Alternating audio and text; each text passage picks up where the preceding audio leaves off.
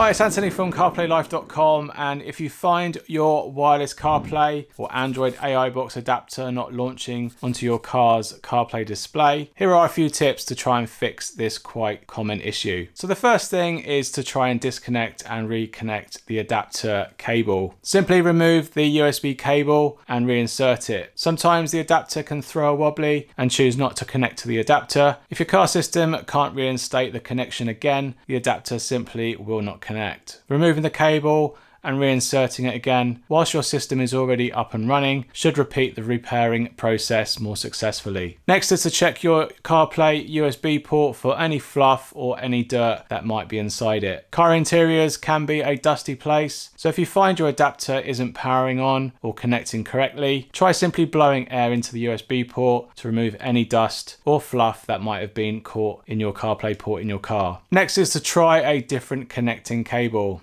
The cables that come shipped with these adapters sometimes aren't too great. Some might not work out of the box, and some cables might gradually fail over time. Even if your adapter shows that it is powered on the adapter itself, the data connection in the cable might be flawed. So swap out the cable for a better 3.1 USB cable that does both power and data transfer. And this simple tip might make your CarPlay adapter work again with your car stereo. Next is to force reboot your car system. Sometimes the wireless CarPlay adapter will not sync with the car system if it isn't already connected to it. After that time has passed, the car system can just stop connecting to the adapter. At this point, usually a restart of the car is needed here but if you're already on the road and you can't pull over and stop the car, you can simply reboot the car stereo. On my VW system specifically, this just involves holding down the system's power button for a few seconds and then the whole system will restart. After restarting,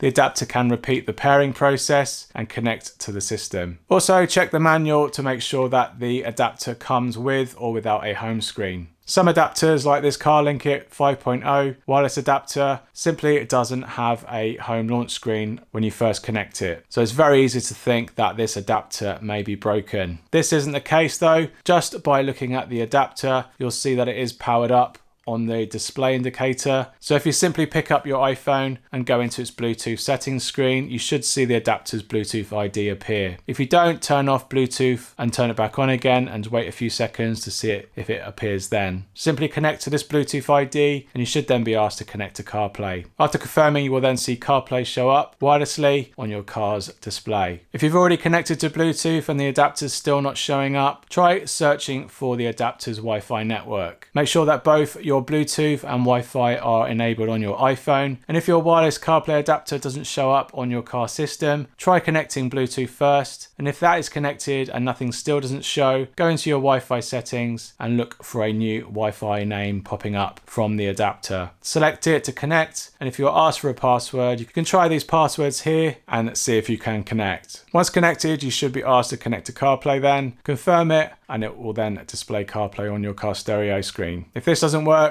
go into your Wi-Fi settings again, select that same Wi-Fi network for the adapter and toggle the auto connect on and off. Sometimes that can work too. If the dongle doesn't work at all and none of these tips work for you, and if it never has worked, it might just be that your wireless CarPlay adapter simply isn't compatible with your car's CarPlay system. You can either check for a firmware update for the specific dongle that might enhance the compatibility for your vehicle, or you can just send it back if you're within your return window and look at buying an alternative wireless adapter. If you've bought an AutoKit adapter like the CarlinKit, you can simply try an alternative adapter from something like Ottocast or similar. And if you aren't using AutoKit adapter at all, try using a CarlinKit adapter instead. Both adapter brands and their OEMs run different system codes with different compatibilities. So it is possible that the alternative might work for you. Whereas buying another adapter with the same code base will just give you the same results. If your adapter did work before